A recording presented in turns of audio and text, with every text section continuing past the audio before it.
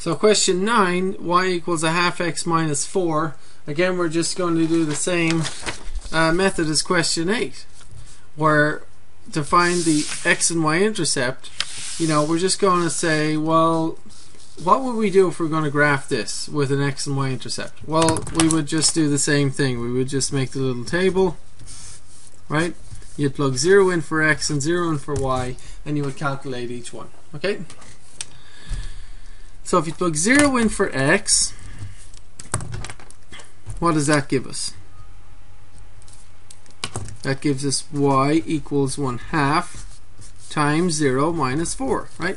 Because you're going to plug 0 in for x. And then calculate that. What does that give you when you calculate that equation? That gives you y equals 0 minus 4, or y equals negative 4. So this is telling us for this equation, when x is 0, y becomes negative 4. And so we have this point here, 0, negative 4. And that's a point on the equation. And it's an intercept because one of the numbers is 0, right?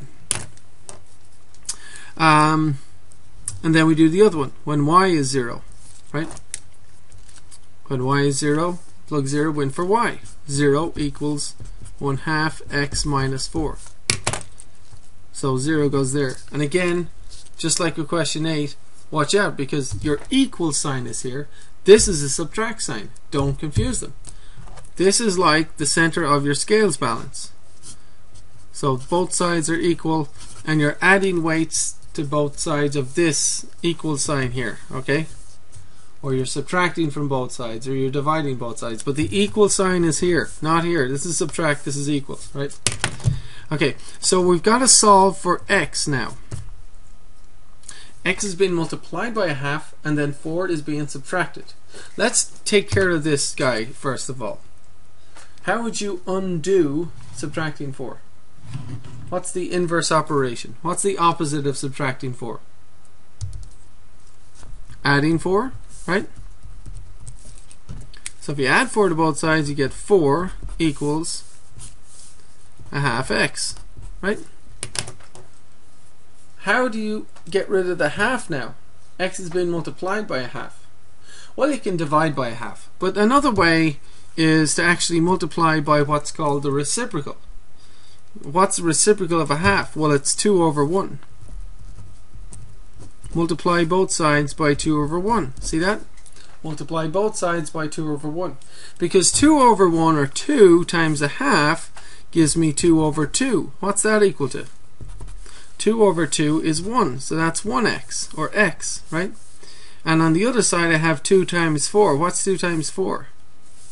8. So I have 8 equals 1x, or 8 equals x. Okay?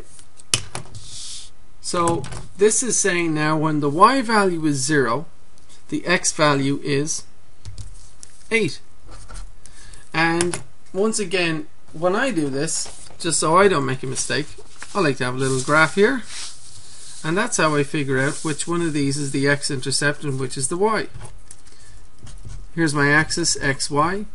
Where's the point 0, negative 4 anyway? Where is it? X is 0, y is negative 4. That's right here, isn't it? Okay.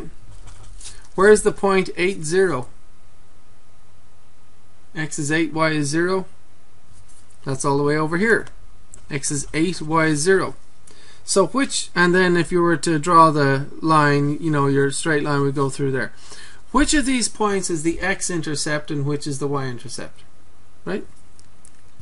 Well, this one was your 0, negative 4, and this point is on which axis? It's on the y-axis. So the line intercepts, hits the y-axis at this point.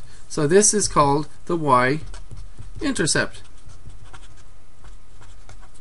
And this point is where the line hits the x-axis. And that's why this point, which is 8, 0, is called the x-intercept. And that's why that is the way it is, right?